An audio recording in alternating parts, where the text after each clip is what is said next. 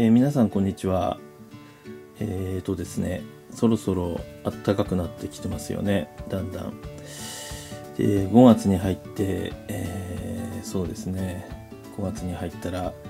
だいぶ暖かくなると思います。5月の後半とかは、かなり暑くなるんじゃないかなと思うんですけれども、えー、あまあコロナショックあのコロナウイルスのね、えー、せいであのまあえー、不要不急の外出は控えておりますが、えーと、今後ですねあの今後といいますか今までこれ実用時計であのデイトナを、まあ、使ってたわけなんですけれどもで夏場なんかもねあのオーバーホール結構4年に1回とかやってますのであの汗の侵入とかその辺気にせずにあのどんどん使ってたんですけれどもあの16520このデイトナの基本料金があのデあのオーバーホールの基本料金がですね、えーと、日本ロレックスで、えー、今まで6万円だったのが基本料金が、えー、それが13万円に上がったんですよ。それを受けてですねえー、私、あの、半額券持ってますんで、日本ロレックスでは、オーバーホールは、まあ、13万だったら、まあ、単純に、え、ー、と、まあ、6万円ぐらいですか。なんで、あのー、今、皆さん持ってらっしゃる、あのー、116520とか 116500LN とかですね。あのその、えー、あまあ、あと、あのこのエルプリでも後半のタイプは、あのオーバーホールの半券なんてついてませんので、えー、まああの6万円あの116520はまだ6万円台で、えー、オーバーホールができるんですけれども16520はもうあの13万円13万14万近くですかに上がっちゃってるんですね。でまあちょっと今回、まあ、文字盤がですねあのこれはですね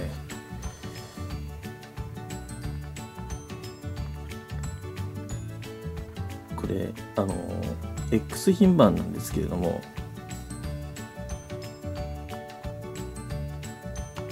逆録じゃないんです今ついてるのはね、えー、それあのそれは日本ロレックスで出してオーバーホールしてもらうためにこの文字盤をわざとつけてるわけなんですけれども、まあ、このまあ最後にですねあの文字盤を逆録の文字盤つけましてえー、針もトリチウムのものもつけてもらえるように、えーとまああのえー、ロレックスの公認、えー、公認店ロレックスの技術公認店に出してですねあのうちの近くにもありますので出してですねでそれでうーんまあうんそれでちょっと使う頻度を減らしていこうとょっと思ってます。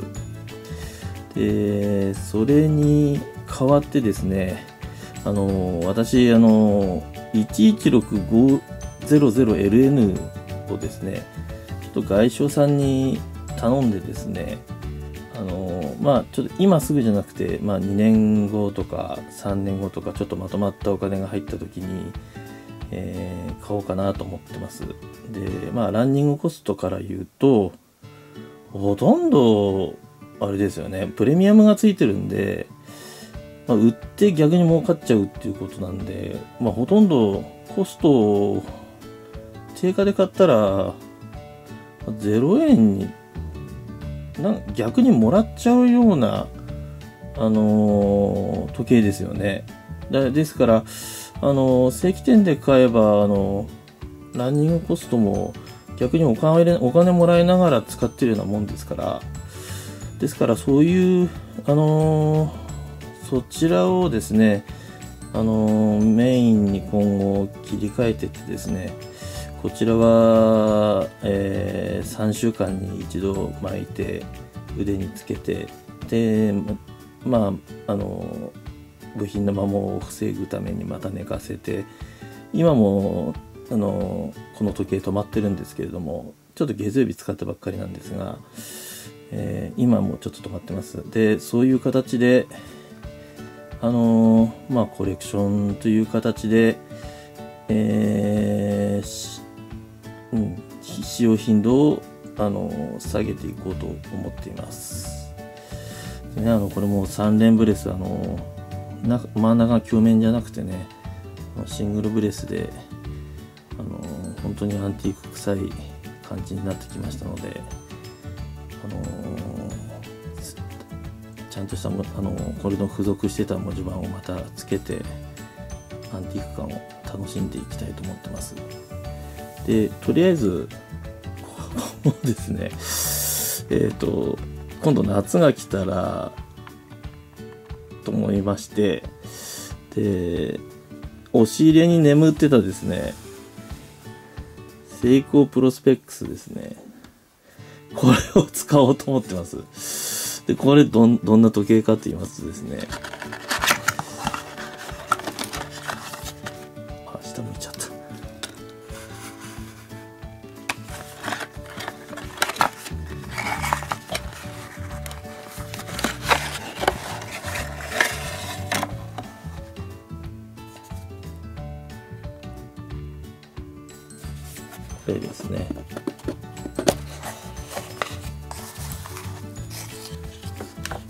ですね。ガンガン使っていけるかなと思ってます。夏場ねあの汗かきますので。これですね。こういう昔のです。プロスペックスですね。えっ、ー、とこれは、えー、20分の1秒まで継続ができてですねここがなんとこうスクリューでこうロックできるんですね。プッシュボタンが。これはあのリューズもねじ込み式でですね。であのあとアンチマグネティックの、えー、対峙性のあの機能もついています。で、中にタキメーターが刻まれてまして、で、外側も、あのケースも全部チタンです。なんで、あの、お肌に弱い方も使えるという、あの時計なんですけれども、そうですね。これ全部チタンなんですよね。よく仕上げてありますよね。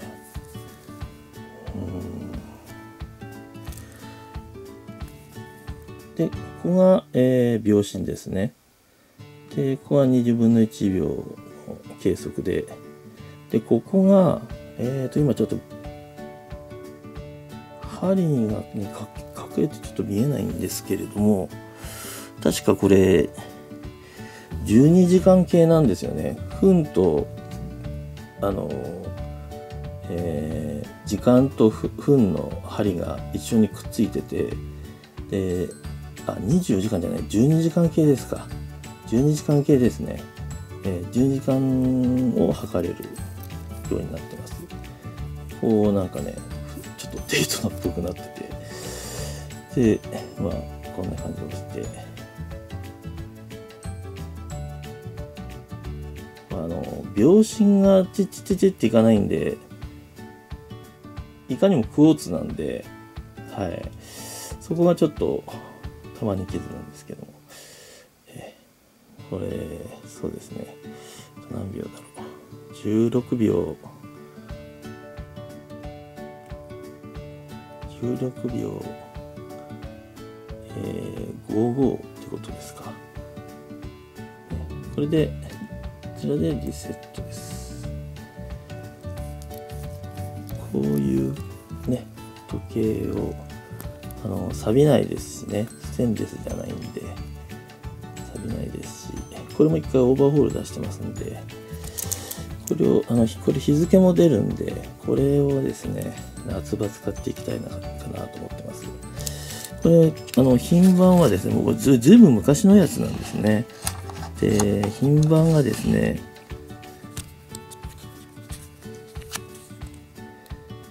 （SBDQ005） という、はい、サファイササファイアガラス使ってるんですね。で無反射コーティングってありますね。こういうこの時計をですね。これ、あのヤフオクで見てたらですね、1万円だか2万円だかそのぐらいの値段で売られてました。あのまあちょっとね、えー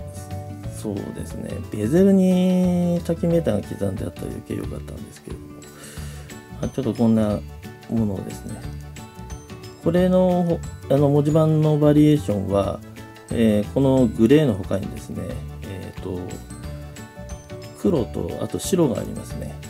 えーチェックしてるとたまに出てきますので、えーあのー今もお安いですしもし買わ買われる方がいらっしゃったらあのそうですね。今はもう安いので、あのでもサイズはですね40ミリぐらい幅ありますから結構でかいんですよね。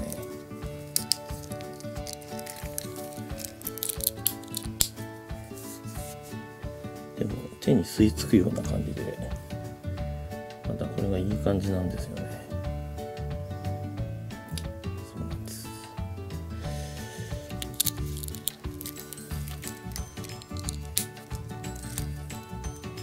バックにもね成功体出ててまあすごい傷つけられてるんですけど。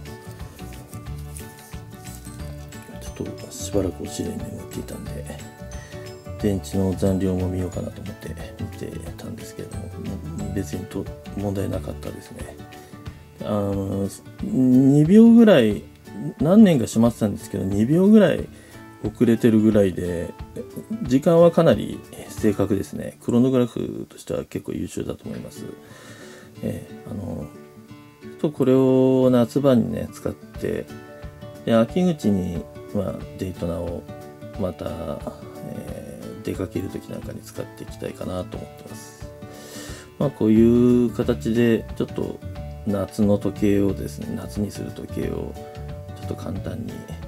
お話ししてみました、えーご視聴ありがとうございます。では失礼いたします。